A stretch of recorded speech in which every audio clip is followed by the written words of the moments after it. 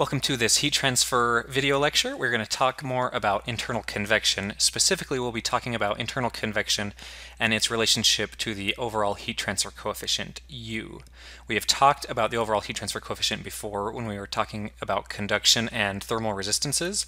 So U is a nice way of incorporating both the convective and the conductive effects when you have heat transfer happening through multiple uh, media in series. So this is very relevant for convection and for heat exchangers. So let's talk about that how that might work. So prior to this, we've talked about having flow through a tube or a channel where you might have a constant surface temperature, Ts. So where we might need to worry about the overall heat transfer coefficient um, is if we had another fluid out here. So we might have an outer fluid and an inner fluid. So when we've talked about uh, internal convection, we've been talking about heat transfer from this internal fluid at Tm to the inner surface. But often we'll have a fluid on the outside, so we'll have heat transfer by convection. So here we'd have external convection happening from this outer fluid to the outer pipe, then we'd have to have conduction through that pipe wall and then convection inside. So U gives us a really convenient way of doing that, and this is going to be very relevant, as I said, for heat exchangers. So here is a diagram. So you might have inner flow coming through that tube, and then you might have outer flow. So this would be external convection. This would be flow around a tube in cross flow, or flow around a cylinder in cross flow. So in chapter 7, we learned how to come up with heat transfer coefficients for that scenario. We would have a separate and different heat transfer coefficient for this inner flow, and that would be given from the theory that we've been de developing here in chapter 8. So if if we're really wanting to know how energy gets from this outside fluid to the outer pipe wall, all the way through the pipe wall, and then to the inner fluid, well, then we're going to have to consider all all three um, heat transfer through all three of those media in series.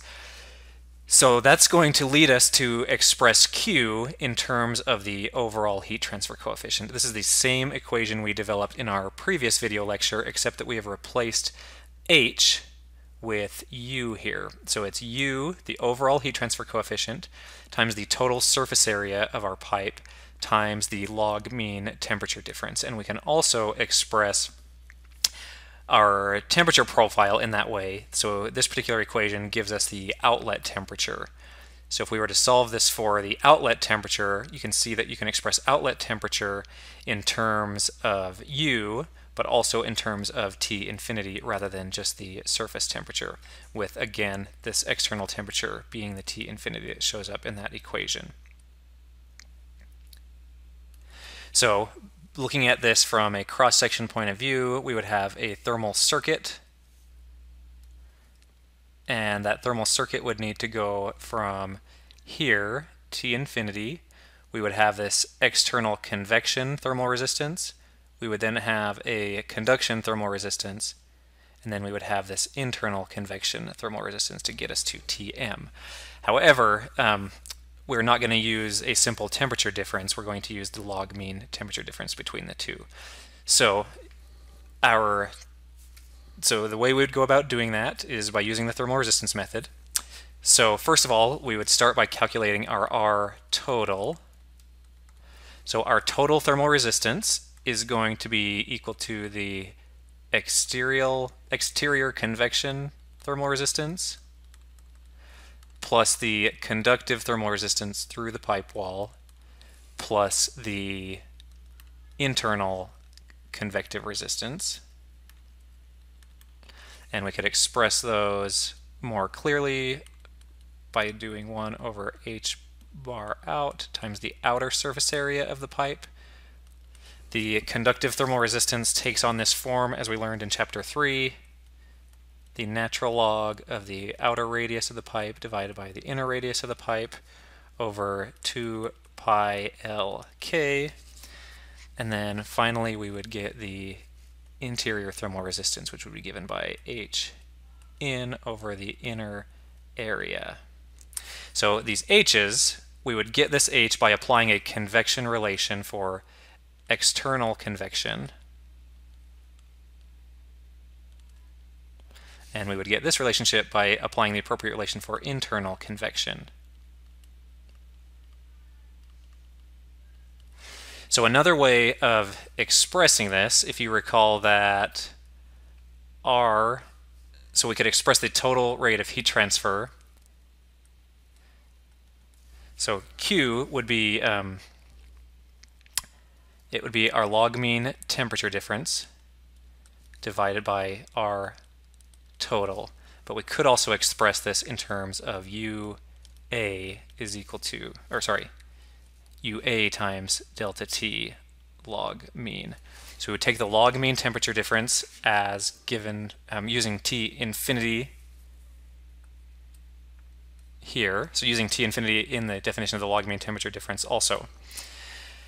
And this, taking this relationship gives us that uh, UA is equal to 1 over R total. So using the relationship up here, we would get that UA, and this is the product. I shouldn't have written that so small. This is the product U, the overall heat transfer coefficient, multiplied by the area. So in this particular case, we would have UA is equal to the inverse of this quantity up here.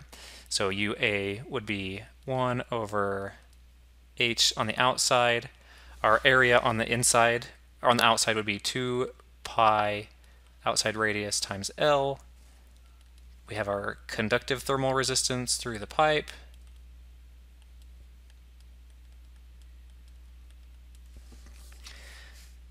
And we have our convective thermal resistance on the inside, which would be H in times 2 pi Ri times L. And then we would take the inverse of that to give us this UA product. So one thing that is important to note is that uh, UA, so A means the area. So the definition of U will actually change depending on which area we're talking about. Are we talking about the inner surface area of the cylinder or the outer surface area of the cylinder? And it's sort of arbitrary, you just pick. So here we get UA is equal to U inner times the inner area, or it's also equal to U outer times the outer area.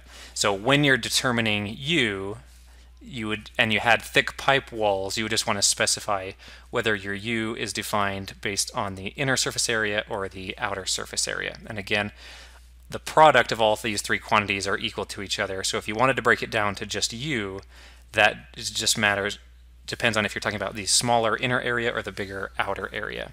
There is another scenario, so if you have a thin-walled pipe,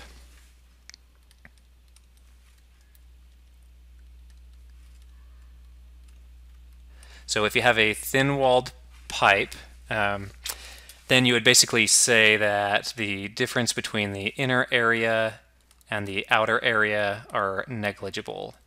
And so the U would be the same in either case. And then again, that's only making the assumption that you have a thin-walled pipe. If you do make the assumption that you have a thin-walled pipe, then you are also neglecting the thermal resistance of the pipe wall itself. You're assuming that that's so small that you can just leave it out. So if that's the case, then you can leave out the um, leave out the thermal resistance of the pipe itself and write your U just based on the external convection coefficient and the internal convection coefficient. Noting that we have just divided each quantity through by area, which would be the same. And again, this is only the case when you have a thin-walled pipe. It's, it's also important to note it helps with intuition to know that your U, it's always going to be smaller than H in, and it's always going to be smaller than H out. So because U incorporates all thermal resistances, and all thermal resistances are additive when they're in series, so the biggest U could possibly be would, would be the, the smaller of the two, either H in or H out. Basically, by considering those other thermal resistances, you're uh, definitely going to make your overall rate of heat transfer smaller.